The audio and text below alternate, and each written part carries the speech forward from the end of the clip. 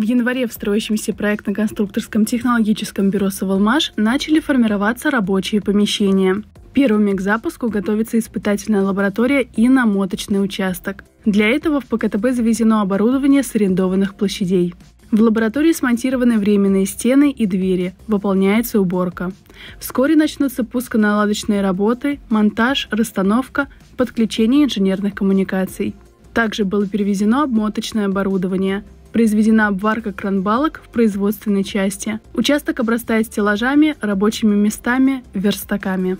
Продолжилась приемка закупленного ранее инженерного оборудования, находящегося на ответственном хранении у поставщиков.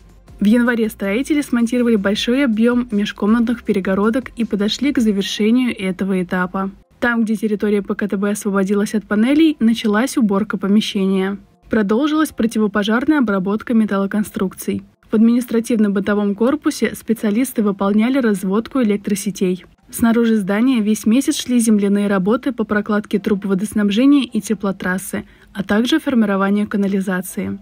За пределами строительной площадки строители практически завершили обратную засыпку траншеи теплотрассы. Также близок к завершению монтаж ливневой канализации.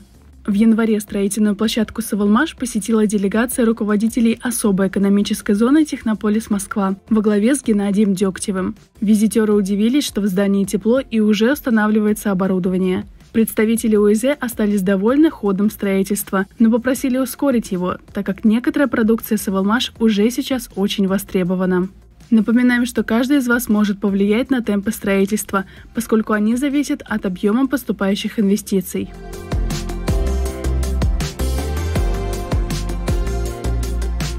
Калужская компания, которая занимается сборкой электротранспорта, обратилась к руководителю производственной кооперации «Ресурс» Андрею Лобову с просьбой изготовить для их автомобиля асинхронный двигатель с улучшенными характеристиками. Такой мотор изготовили в компании ICPP Weichai в Китае и испытали на аналогичном электромобиле. Затем двигатель отправили в Россию и презентовали губернатору Калужской области. Мотор вскоре будет установлен на электромобиль, после чего начнутся испытания в российских условиях.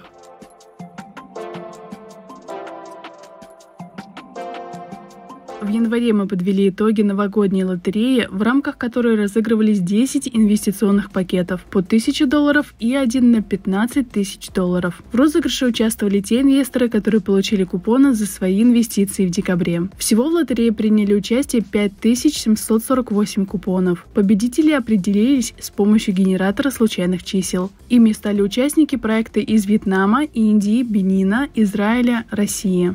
Мы планируем в дальнейшем проводить подобные лотереи. Следите за нашими новостями. 16 января проект двигателей Дунова перешел на 18 этап финансирования из 20 запланированных. Вы все еще можете приобрести доли в инжиниринговом бизнесе гораздо дешевле, чем они будут стоить после завершения финансирования проекта.